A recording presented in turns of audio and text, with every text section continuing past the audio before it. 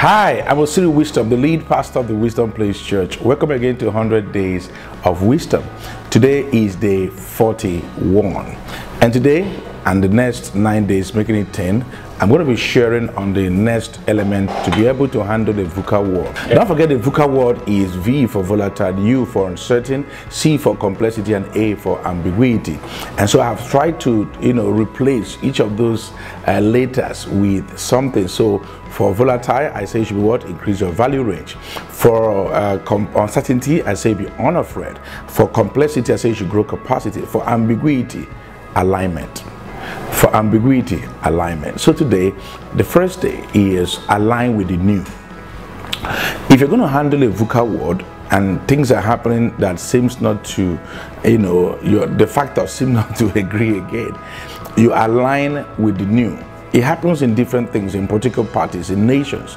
There are parties that, like independent person or a party that is not well known, then you align with the aspiration of the people. And before you know, you become a phenomenon, you become well known, you begin to flow and win people that, you know, are stronger parties in their own places. We have seen that and see, you know, supposedly unknown party on you know, uh, governors and different kinds of people. Okay, that is alignment with the new. If you stick with the old, after a while, you're going to be obsolete. So in ambiguity, when things become ambiguous, become hydra-headed, all right, you want to align with the new. When you see something that is new, don't stick to the old just for loyalty, but it is not relevant. Let me give you a good example. It's like in the Bible, okay, uh, using David that, have used for example for a long time.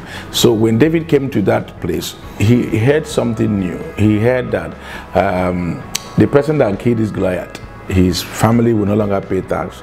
He's going to marry the, uh, the, the uh, daughter of the king and other things. And why he was saying, the elder brother, Eliab, came and said, what are you doing here? Bible says, he told him, it's not a cause.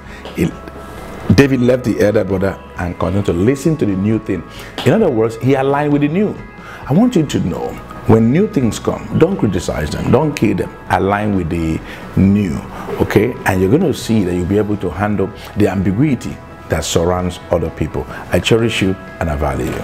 Also remember to subscribe to my YouTube channel at Osiri Wisdom and follow all my social media handles as displayed on the screen. Instagram in particular is I am Osiri Wisdom, Facebook, Twitter, and the rest of them is just Osiri Wisdom. I cherish you and I value. I want to declare to you that you can. You shall, you will.